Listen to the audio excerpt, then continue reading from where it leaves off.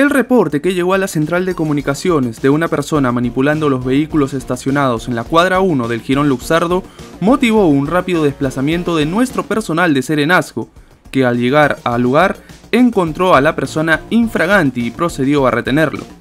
Con la llegada de la Policía Nacional del Perú, fue trasladado a la comisaría de nuestro distrito.